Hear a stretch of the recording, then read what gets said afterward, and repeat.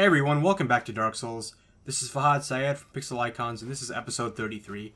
Today's episode is going to be a bit different, only because I'm doing this in post commentary.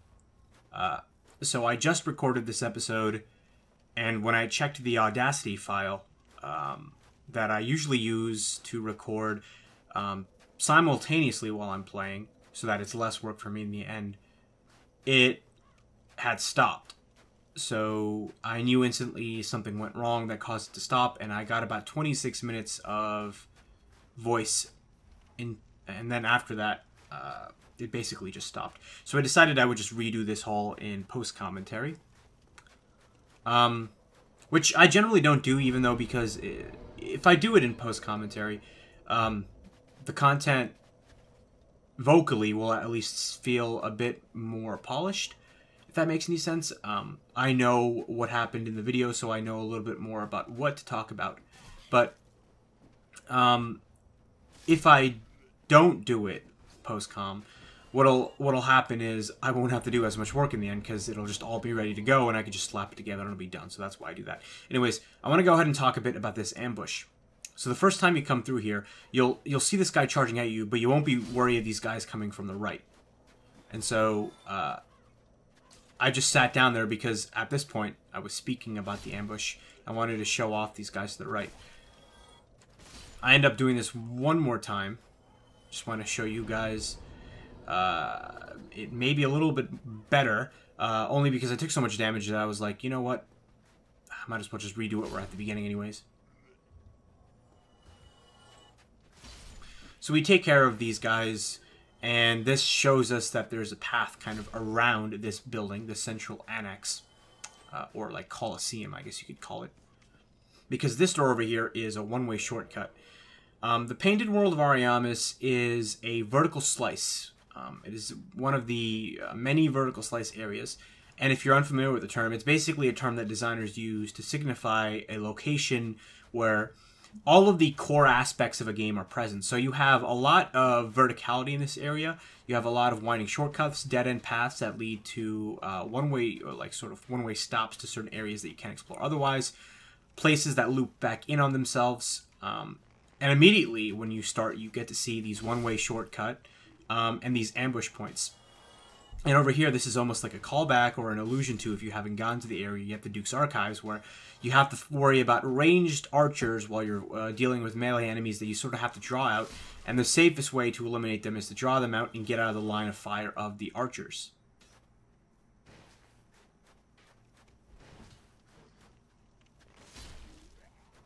So the Painted World is a pretty uh, famous location in this game. A lot of people love it because of its memorable design, the way that uh, it's very intricate and it's easy to get lost. And here, if you kill these guys that look a, a bit engorged, uh, what'll happen is you'll get you'll get the toxic effect from them because their sac will burst onto your face, which is uh, nasty to say the least. Now, there's a way we can get around them, which I'll show off a bit later, which is to use pyromancy or to use weapons that are coated with flame. But I don't actually have any charcoal pine resins.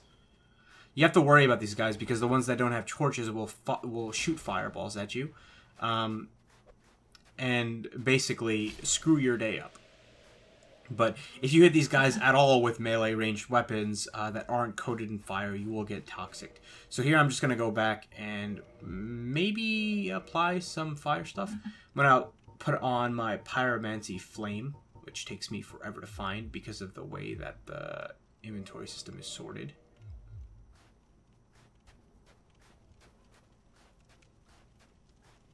There's a lot of cool items that and enemies that only appear in the painted world uh, because it's an optional and secret area. Um, mostly because they would feel a bit reused if used uh, sort of along the main line story of the game because you would say, oh, I've encountered these enemies before. Um, also, because of the lore of this game, uh, it kind of makes sense to put them here. Um, you can pretty much put whatever you want here uh, due to its nature. And here I'm going to take off a bunch of my spells and put on all these pyromancies. You know, I've gone through a lot of effort to get a plus 10 pyromancy flame and I haven't really used many pyromancies, so I'm going to use a lot of them in this episode.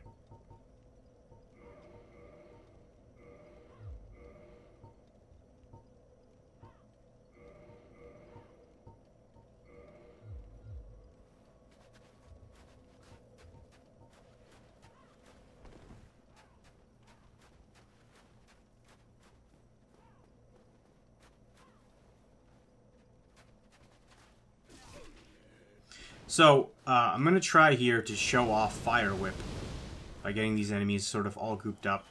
And you can see there that it's uh, got a bit of a wind up. Most of these Pyromancies do. You can cast them a bit quicker the higher your dex is. So that kind of skews a bit of the balance towards not just having attunement slots, intelligence, but also having attunement slots um, and dexterity. That way you can sort of cast them better. But I would say it still feels a bit. it still feels pretty balanced. I'm gonna loop around here and deal with these guys, and you have to really worry because, see right there, uh, because of my carelessness, I, I, basically got hit by their their uh, bombarding attacks where they just slash wildly and uh, rapidly and aimlessly. But if you're close to that attack, all those slashes will hit you and um, it'll do a lot of damage. So you have to be careful. Was very proud of myself with this dodge because I felt like it was very skillful. I don't know why. Uh, and over here, this is an allusion to a new enemy uh, called the Crow of Velka. And like an idiot, I don't have my binoculars on, so I end up having to put them on. But these enemies are another unique enemy that only appear in this area. Um, they're not really that interesting, other than the fact that they fly and that they've got some lore ties to the goddess of Sin Velka. But um, they are pretty tough, and if you don't come here with the right equipment, they can sort of give you a run for your money. You see that this one comes in and flies. And a cool way of knowing whenever you're going to have to fight them is usually there'll be crows littered around the area. From up here, we get a lot of cool vantage points where we can see items that are all around us. By the end of this episode, I have almost all of these items, save for one specific item that I don't know if you have to jump to or not. I think it's actually a dragon scale, and I, uh, like I said, I just don't really know how to get to it. The Painted World isn't really an area that I'm hugely familiar with, that I know like the back of my hand, only because um, I only really come here on most playthroughs if I need the items here because uh, it is an optional area. So I think this is only like my third time ever or like second time ever playing through this area. So I tend to get lost pretty easily. Doesn't mean anything though, because there are areas in this game that I that you have to play through every time, and I still get lost due to their labyrinthian nature, like the Dukes and uh, the catacombs and uh, um, area later on, Tomb of the Giants that you'll see. I was so pissed when that happened when uh, I got hit by that fireball because I was taking that very carefully using my own fireballs and I wasted so many trying to kill that guy and he ended up getting me. So over here, you've probably been hearing these strange noises and they're actually coming from enemies beneath. This is the one item uh, that I couldn't get. Um, I tried jumping to it. I tried everything really. I, I don't. I never figured out how to get to it. I think I know for a fact that there has to be some way to get to it from the other side. I can't tell if you have to drop down from above because I don't know if there's any pathways above. But yeah, I try multiple times to try to just sort of jump there. And down here you uh, have some unique uh, reskins of the rats. You have Arctic rats with white fur instead of sort of gray. Just want to show off Flame Whip again, so I I end up using it here a lot, but um, really I should have saved it for those guys with those gross uh, proboscises on their faces. I believe they're actually called engorged hollow dredgelings. Um, but yes, yeah, so see here, I, I, try to jump over to here, but you know, jumping over to here isn't the best because you really don't get have a good angle of uh, you really don't have a good angle of getting to the door. So I try, you know, jumping from just here, and it's way too far. You know, by the time like your your your the, the top of your head hits it, so you know it's too far. Uh, I missed my jump there, and then I also try to jump from where that guy is hanging, um, which I think might be the way you're supposed to do it because I get very close, but I I don't know something is definitely not raw right. I missed that right there, but I think that could have worked. I also like how this guy's hanging. Uh, pretty loosely. Eventually, I just say fuck it and I give up. But yeah, see, so I was very close there. I'm just I'm just shy of missing. Basic, I'm just shy of landing it rather. But eventually you end up quitting. The way this area is designed is it's um it's basically four buildings interconnected with a courtyard in between. And the advantage of that design is you know, you can see that advantage in the Dukes when you basically uh, cut off certain pathways to certain areas and then you use um, like these reroutes. So you have to reroute to get to that area that you normally would have access to. And by doing that, you sort of extend artificially the length of the area by, and you could also uh, include some pretty unique encounters due to the way the geography is laid out. And it feels like a lot of work, but you're really not making a lot of ground.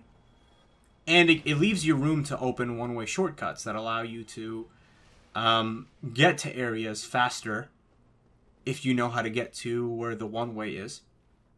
It also allows for a lot of vertical drop downs like these. So you can actually get to that item, and I believe I get to that item a little bit later. But this is not the way to do it. Dropping down here is actually going to lead me to another area with more rats. And some nice other equipment like, um, I think, Fire Surge and whatnot, but you'll see. So I'm just going to jump and attack this rat. The way that this area is designed, it, it, sort of tempts you to make all these jumps and to try to get these items and look around because it is very tight. Um, it, it, it's got these uh, areas that are open and then these areas that are very tight. But it tries to lure you into these holes where which kind of act as like haunted houses. Chris Franklin um, on in, in, May of 2016 did a video on Dark Souls 3 and, and the Souls games and their design, and how he feels like um, he, they sort of take inspiration from haunted houses, like real world um, places that you can go to where there are actors and they're sort of hired to scare you when you when you walk in, if you know what I'm talking about.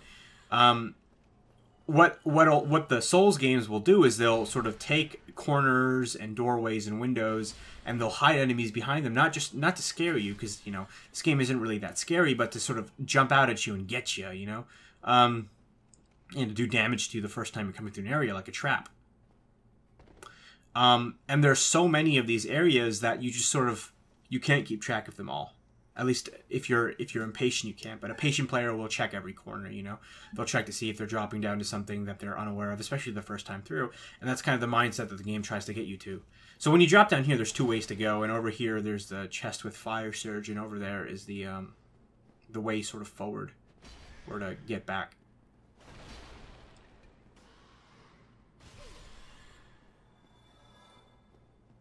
Based off the environmental storytelling that you'll see over here, this place kind of looks like some sort of temple or graveyard. It looks a lot like um, the Undead Asylum.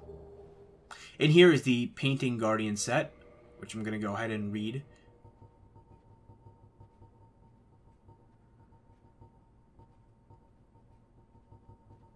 If I can find it. Robe worn by the Alabaster Cloth Guardians of the paintings in Anor Londo offers substantial protection versus magic. They have they have guarded the great paintings of Ariamis for ages, passing their duty down through the generations, but the reason for doing so passed from all memory long ago. Sorry if I'm reading these a bit fast. Like, um, I I read them. I was probably reading. I know for a fact I was reading them while I was playing, and so um, I'm trying to you know get the description out before I close it out.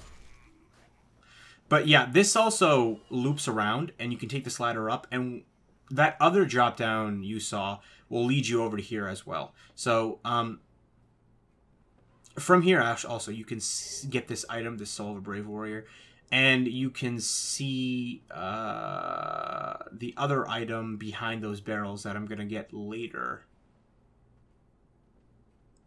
Also over here, there's an item which I'm going to very carefully get. That a guy over there, he can't attack me yet, but the egg vermin verminfuge, which I'm going to read right now. Uh, bitter sour chestnut, remove parasitic egg from body. The egg bearers have chosen to serve the flame of chaos, and the egg symbolizes their selfless choice. Naturally, these chestnuts are forbidden, but allows allowed under special circumstances. So it's forbidden to remove the parasite, but not to gain the parasite, which is a bit weird. Um, so if you remember, all those guys who were serving uh, sister, um, like Eingyi, those guys are infected with the eggs, and these engorged guys are kind of infected with the eggs as well. both those guys have special grab attacks where they'll infect you with eggs. And so you definitely don't want that, but this is the item that helps remove that. So try again to get that item, and this is when I fall down, and on my way back, I'm going to take the other drop down, and I'm also going to get an item that was pretty well hidden, um, but, you know, if you've got the eye for it, you'll be able to see it. Like this item on the, uh, behind these barrels. So I'm just going to build up some momentum, then charge over there, and it's just a gold coin. It's, very, it's pretty much useless, because uh, gold coins, you just crush them for increased item discovery, but you know, I don't really need that because I have three humanity in my slot, so I pretty much have the same effect as a gold coin. But anyways, instead of dropping down over here, this big area where the uh, Painted Guardian set was, I'm going to drop down over here. And this will basically show you that's the same area. Um, like you can run down there and get the, the Painted Guardian set. So really, uh, they give you two choices, but they really drop down and, and merge into two, into one, sorry. Having a hard time getting around that corner, I don't know why. Might have been distracted.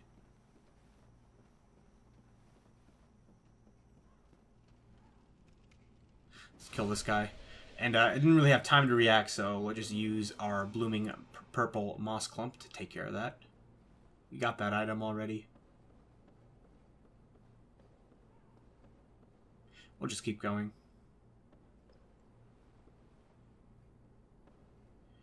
And I believe now we're going to just jump down and, and just head through the area.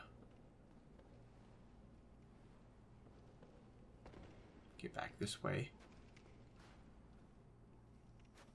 And there's that item that I think I get later.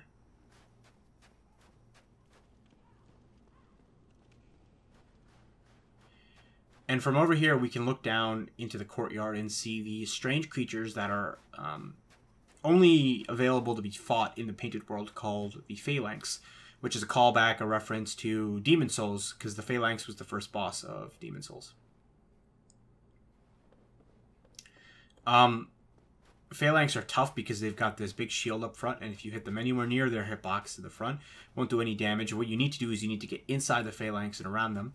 Um, I'm going to show you a, a, pretty easy way of dealing with them later on. And also, you can see that there's another chain um, with a dead hollow hang, uh, dangling from it. We're just going to shoot that down um, and grab it later once we enter the area. It's just a humanity, um, but it's nice that these are there. These chains are a bit of a callback as well to Boletaria, because in Boletaria there were uh, there was an item that you could get Boletaria, by the way, is an area in Dark, uh, sorry, Demon Souls.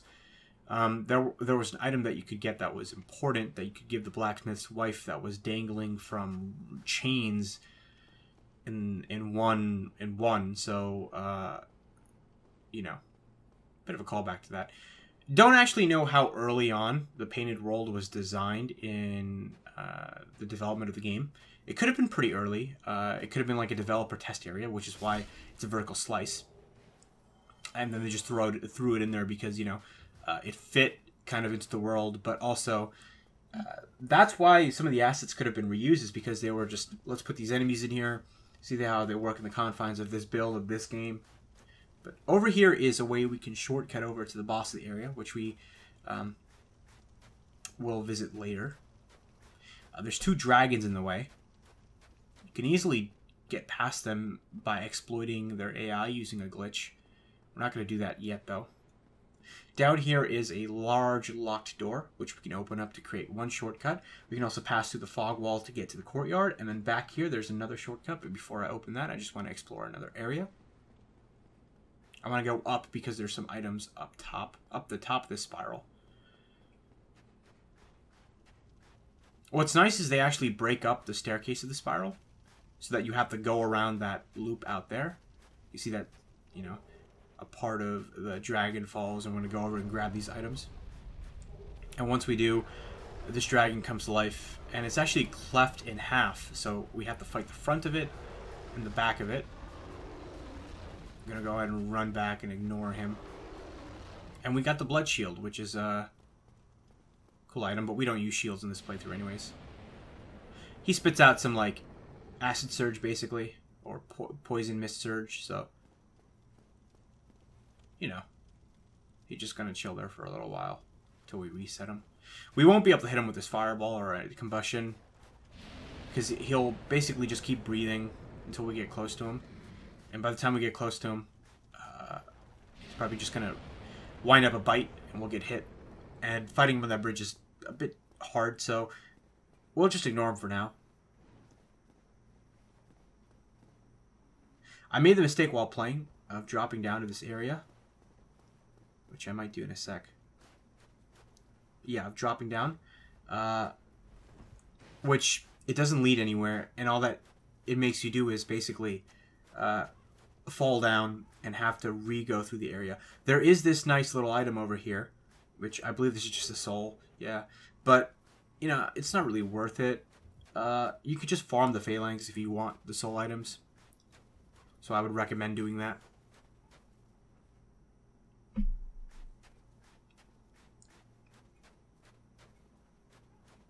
Yeah, this is the part where I realized, no, no, I have to actually jump down. But just the way that this area is designed, um, getting back to a specific location is actually relatively easy and straightforward.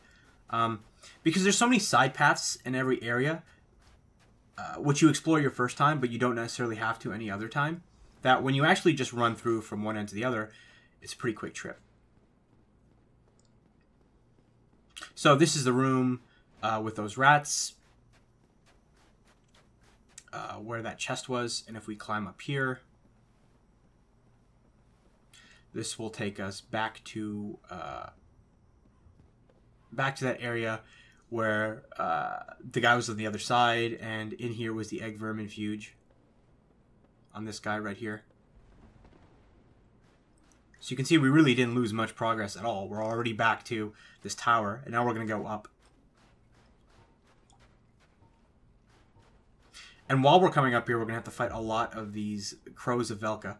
The best area to fight them on are, are these sort of square columns on the staircase, uh, because you have the most room. But really, fighting them on the staircase isn't so bad it's just easier to fight them on the square column because you have a little bit more leniency. There's a couple items you can get by dropping down. Um, going to drop down one more time. I think uh, before I can kill all these guys. Like all enemies in Souls games, they can't really fly, so uh, they'll end up killing themselves. Sometimes. That's the item I'm going to drop down to get to. Then I'm going to have to drop down one more time I think one of the crows is also going to fall and survive, but meh. See, I try to get this item over here, and it ends up being a mistake. You have to drop down from the outside to get that item, which we can just get to later on, so it's really not that big of a deal.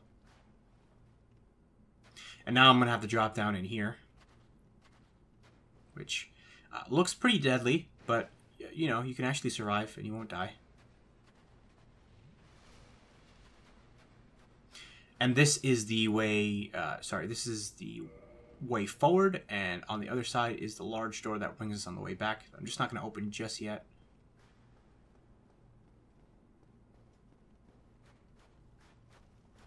Have to worry about this dragon, but you know, who cares?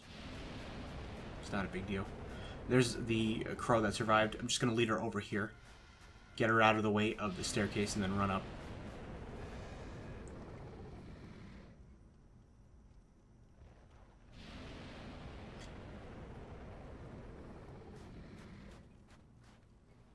Oh, I think here she comes. She hits me, but she's gonna die pretty quickly. These guys, you know, they have a lot of health. Uh, if you come here at the wrong stage of the game, this place is no joke. Uh, I've got a Zweihander plus 15, and it still takes me three swings to kill them. So that's how you know that they're tough customers. But at this stage of the game, you know, uh, because of the way that they're designed, they're pretty easy for me to take care of. And up top up there is the Vow of Silence, I believe. I'm just looking around Sorry, this is the Red Sign Soapstone. The Silence somewhere else. The Red Sign Soapstone is a pretty awesome item. essentially it uh, it acts as like a white sign soapstone, but it's a PvP item, so you could place it down, and the person whose world it appears in can summon you to fight them, and if you win, you gain their humanity, and vice versa. It's weird that this item would be banished here, but be summoned to another world as a dark spirit and defeat the summoner to acquire humanity. Certain dark wraiths uh, resist the descent into dark and persevere along the honorable path. The red sign soapstone is for them.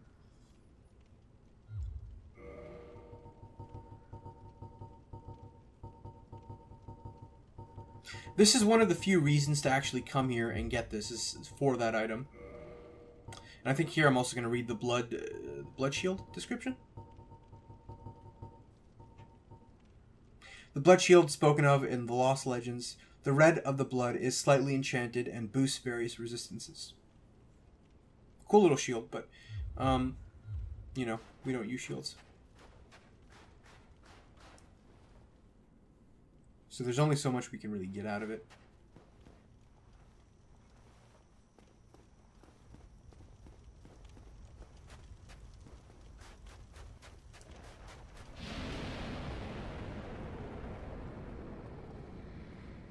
Think I'm going to finally bite the bullet here and uh, open up this fog gate, go through and fight the phalanx. So what makes the Phalanx tough uh, isn't really their melee range. It's the fact that they have range attack where they throw their spears. So as I'm showing them off, look at that. See, so there's so many of them that if you get hit by one, there's a good chance that you're going to hit by another. And uh, the best way to kill these guys is actually the same way you deal with the engorged hollow dredgelings, is to use fire So here I, I try to lure them out to show you, you know, that you can kill them with melee. But if you hit them in the shield or the front at all, you know, it pretty much does no damage, even with a plus 15 weapon.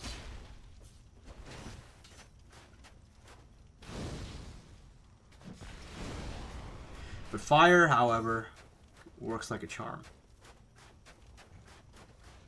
So I'm pretty soon going to run out of Estus which means that a better solution might just be to go back. Rather than opening up the shortcut, what I'm going to do is I'm just going to explore a little bit of the area and use a homeward bone here. And the only reason I do that is to show you basically how fast you can get back to this if you're clever. I'm going to go ahead and put on the Ring of Sacrifice as well, just in case I die while fighting Phalanx for a little while just to show them off a bit more.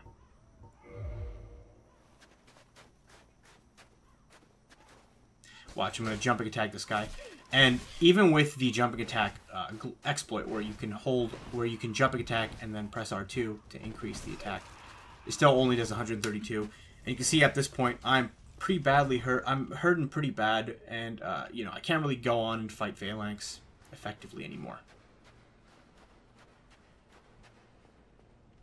So my solution is just a homeward bone.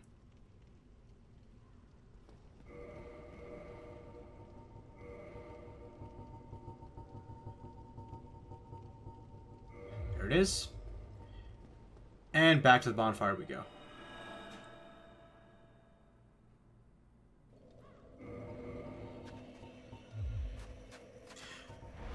So real quick, I'm going to attune some magic. I'm going to take off Fire Whip, and I'm going to throw on another Fire Pyromancy we haven't used yet, called uh, Firestorm.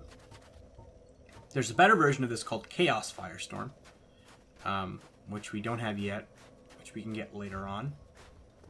Um, but it's really...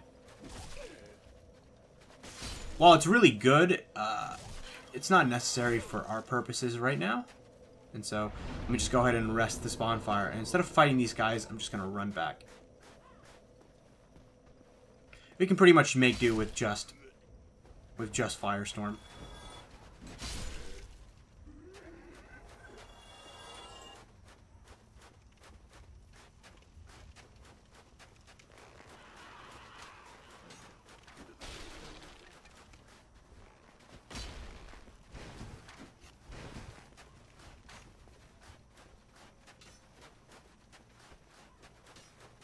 You can see how easily I can run past these guys now. Coming here to deal with this guy might have been uh, not a wise decision because look at how many guys now we have to deal with, but we still managed to worm our way through. We're going to come out here. This is going to lead us to the walkway. We can take to the spiral. We can take the spiral down to the dragon, and from there we can take it down even further and get back to the fog gate that we opened up. You can see that while I did get hit like a couple times, um, I didn't need to burn any Estus until just now to heal, and I'm already back to where I was with nine flasks. So now we should be able to take on the Phalanx with a lot of room for error. The number by Firestorm is a bit misleading, and also, if you try to just cast it like an idiot, it's not going to work out very well. The best way to do it is actually to use a bit of cover at the beginning to get the attack started up, like by this these cells, for example, these square cells, and then walk out closer. And look how many of those died. We literally killed about half of the phalanx. We can pretty much clean these guys up without the need of casting another one, but I just want to cast it just to show it off.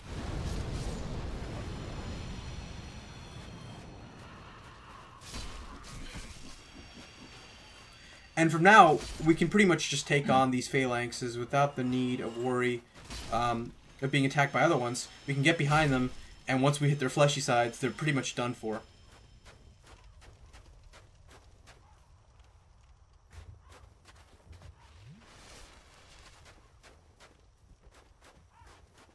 Now that we've killed all these phalanxes, go over, and there's actually a lot of paths for us to explore. We can go to the path directly opposite of where we came. We can open up this shortcut back to the bonfire, which I'm going to go ahead and do.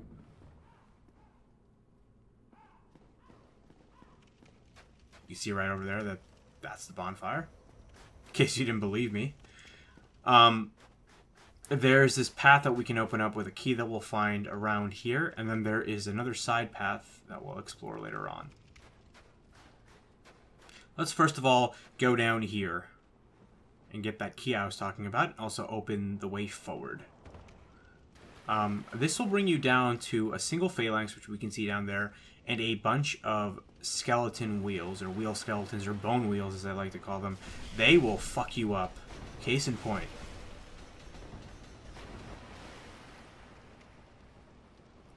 The scariest thing about these things is that it's very hard to see them, and with a shield, you know, you can sort of minimize the damage you'll take by giving it all to your stamina. Um, without a shield, you have to rely on your dodging abilities to get out of their attacks. So what I'm doing right there is I just lured these two over here so that I could get them with my uh, so that I could get them with my sword on a jumping attack, and we'll go ahead and kill Phalanx right now to get him out of the way. There's going to be three more of these Bone Wheel guys, and we're going to have to fight them again once we get down to the catacombs in the Tomb of the Giants. They make this area very dark, so it's hard to see them. The best way to deal with them is just to keep an eye out and use these columns as cover in between you and them. What'll happen is they'll roll into the columns and roll past you, and then you're going to have to chase them. And if there's more than one, don't try being overzealous killing both of them at once. Just go for one, go for cover, get out of the way, and then kill them. You do want to make sure you can get back and kill these guys before they start spinning again. Because that just gives you an opportunity to get hit one more time. But over here is the Soul of a Brave Warrior, and once you get to that, your eye subconsciously leads you over here to this crank.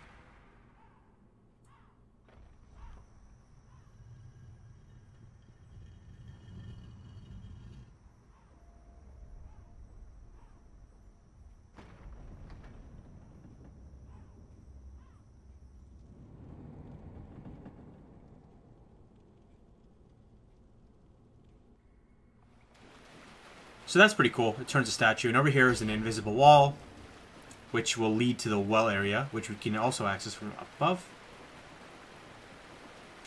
That area is pretty scary because there's a bunch of bone wheels. you know, and SS up real quick. Now, I really wish I had cast light with me, especially for this area in here, because it is really hard to see.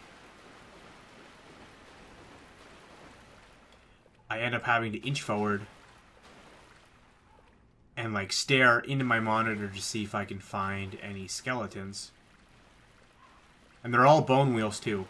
So you have to worry about them coming forward like this, screwing your day up.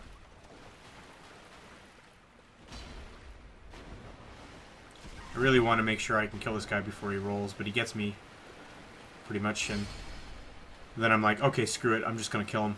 Charge over there, take him out. This place is also a bit of a maze, and there's a lot of these invisible walls, but it's very easy to tell they're invisible because the texture doesn't match the rest of the walls. They stand out. And it's also very easy to hit them accidentally while you're fighting the bone wheels discover that they are invisible. This should be the way up to the ladder, I believe. Or sorry, not the way up to the ladder, but the way up to the entrance of the well, top of it. And this is another way where we could fight these bone wheels and get down to that lever if we want to, I suppose. I just prefer the other method, even though there are more bone wheels that you have to worry about. Uh, it's more open. You have more room to navigate. You don't have to worry about the ambush directly from your right from that bone wheel. And it's less scary. This area is pretty scary.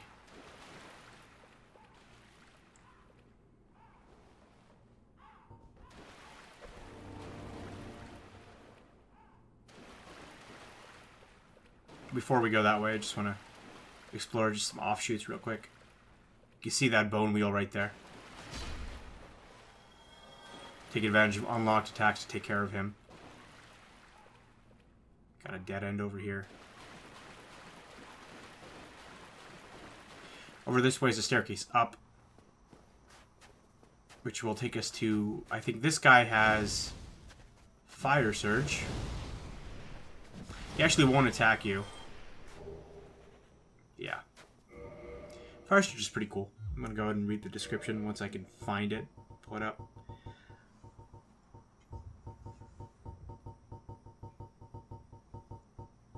There it is. Pyromancy foreign to the Great Swamp. Create a surge of flame from palm of hand. Not all pyromancy originates in the Great Swamp. One hears rumors of unknown pyromancers inhabiting various lands, and this spell is the work of an outsider. Or an outlander. Couldn't really tell. But you get the gist of it. Not all pyromancies come from the Great Swamp. Some are actually discovered by other people who aren't the Witches of Izalith, or the Daughters of Chaos or her followers, or their followers rather. Over here is one last bone wheel.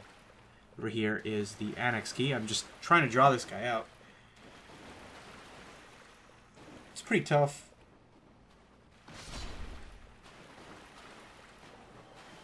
And man, now the heat is starting to get to me. One of the reasons why I don't like doing postcoms um, is because I have to turn off my AC I turn off my AC while I'm playing Reese, but let me read this. Key to the annex, the painted world of Ariamis. In the wintry painted world, there is a structure resembling an old cathedral. Its annex serves as a type of storehouse. But, uh, yeah, I don't like um, doing postcoms because it extends the duration with for which I have to play without, or rather sit without AC. And so I'm really starting to sweat. I ended up stopping halfway through this recording just to uh, turn it on for a couple minutes, and now I'm really feeling the heat without it.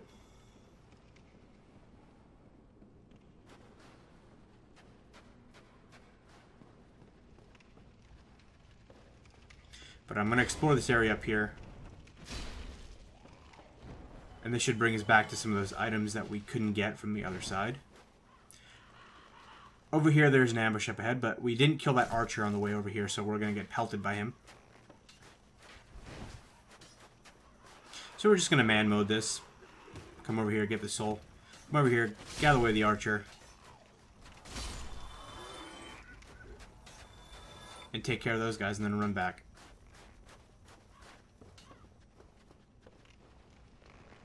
So you can see that the, the design of the area is very similar to the Duke's. A lot of uh, ambushes on walkways and choke points, dead ends and whatnot.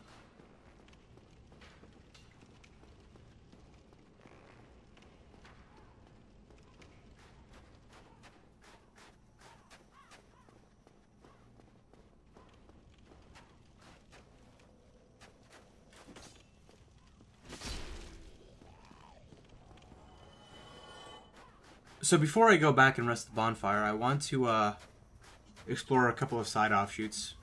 Here's one of them. Gonna have to fight some crows of Velka. Here's a statue that's going to lead us to the area of this, the boss of this area, rather. So we can go into the central annex and go through that door that was locked by some contraption. You can see the fog wall at the other end. And that's the way out of here, because we actually, you know, as was shown before, we can't leave, we can't warp out of here. We actually have to beat it before we leave. Which can be a, a scary concept for some people, but uh, it's not. It's really not too bad. The area is pretty fun to fight through. We have a lot of souls. We have 50,000 right now. It's all going to get dumped into intelligence later. So we can use crystal magic weapon.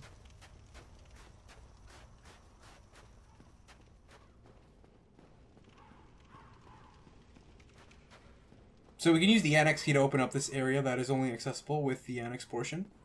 Um, or sorry, with the annex key, which obviously makes sense because we need to, the key to open it up. God, what a shitty statement. I'm still going on about it. But over here, uh, this is where we can actually get Vow of Silence. We're going to have to fight a, a couple more Crows of Velka this way. We're going to have to deal with this guy. Pain in the ass. Before we fight him, we'll just take care of this guy. Gotta get my Pyromancy Glove going.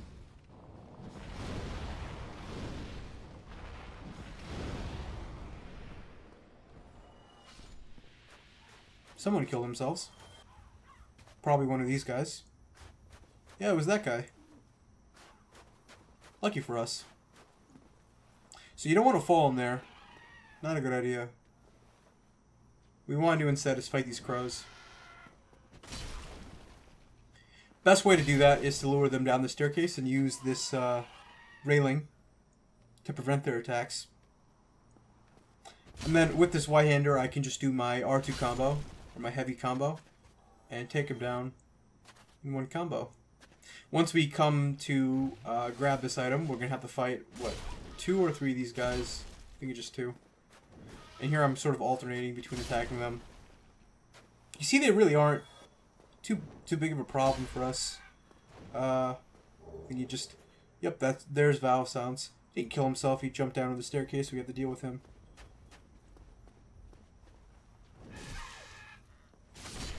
So these guys are very passive. They fight very defensively, and they give you a lot of opportunity to, to hurt them because you know they do have a pretty big HP pool.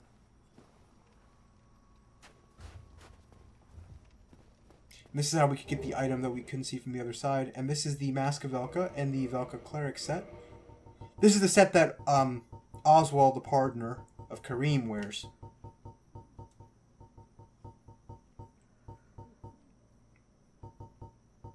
Mask of Velka Mask worn by the pardoners serving Velka, the goddess of sin. The pardoners listen to the confessions of sinners, urging reflection and salvation. Their mask symbolizes separation from worldly desire. So there's a lot of Velkan stuff in here. There's a lot of stuff that has been banished by the gods. And from here we can see some of those items that are left behind. That is the one item I don't think I know how to get to over there on the left. Over there on the right, I think I actually end up getting that item later.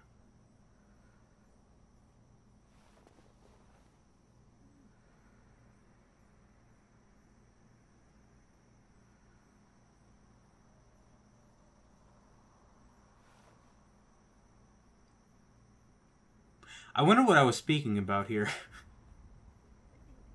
I can't remember. It's probably speaking about probably the the the crows or the pardoners of Velka. And now the arduous process of figuring out how to get down. You don't want to go down this way. Uh, these are sort of one-way shortcuts down to the bridge.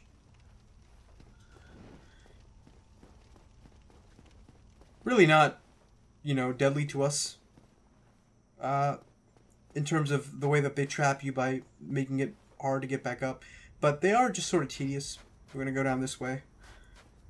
And go the other way, and that should take us to another very, very important item.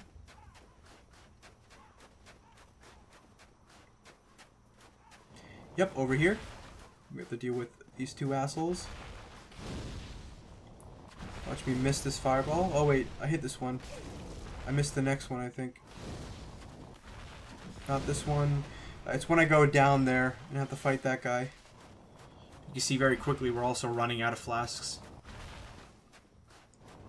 There's a blacksmith who has been turned to stone. Holding an ember.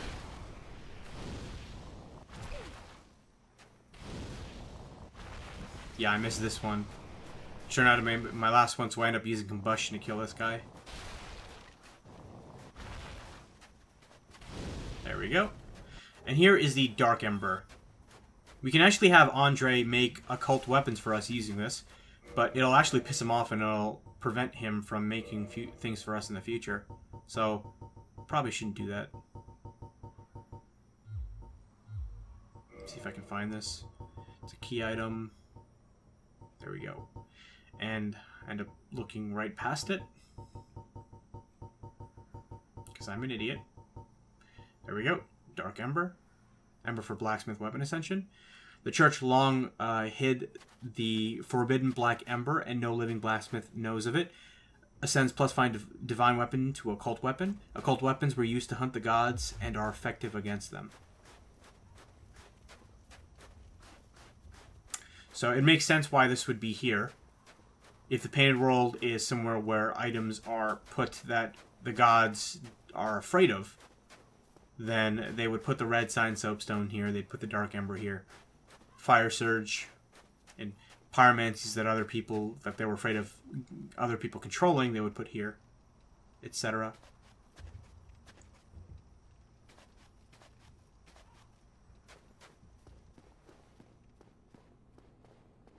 Now that we've explored one branch, uh, there's one more branch that I want to explore before continuing.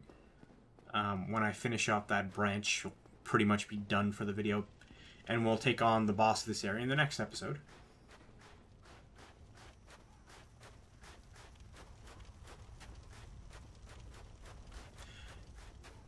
I'm currently looking for the graveyard, and here it is. Sorry, not really graveyard, uh, this area with all these spikes and these hollows, uh, which have been skewered on top of them. Just making use of combustion here. Making combat a little bit more flavorful.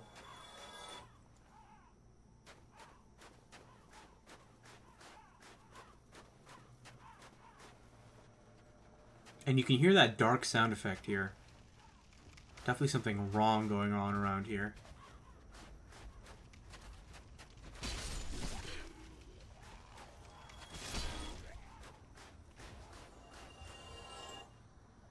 The area, the this cliff or this um, roundish area is sort of leading us to the left here by descending and circling around. Over here are some cages that are locked up.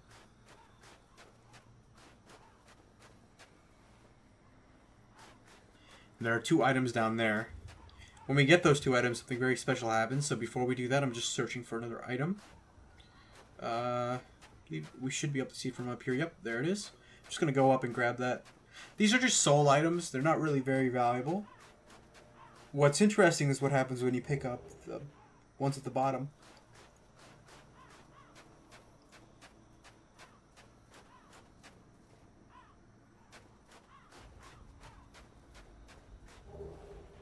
So Soul of a Proud Knight and Soul of a Proud Knight. And once you pick them up, after a couple seconds, as you're walking back, Dark Spirit King Jeremiah will invade. And here is yet another callback to Demon Souls. This guy has the Xanthous crown, which looks a lot like the helmet worn by the old monk boss fight in the Tower of Latria. You can go ahead and kill him re really easily, get a lot of souls from him, get some, like, I think, a humanity from him, get the Notched Whip as well. Notched Whip is a cool novelty weapon. It's not very useful, but it's a uh, nice little PvP novelty build item. It's basically a whip, but it does bleed damage. Yeah, so you'll see here, whip with sharp spikes.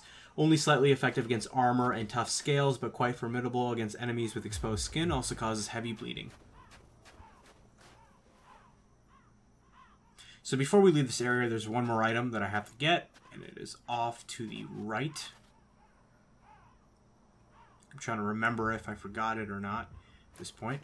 And then I realize, yes, I gotta go to the right. And behind that wall is a pyromancy called Acid Surge. This is pretty cool. This is similar to what that dragon was spewing.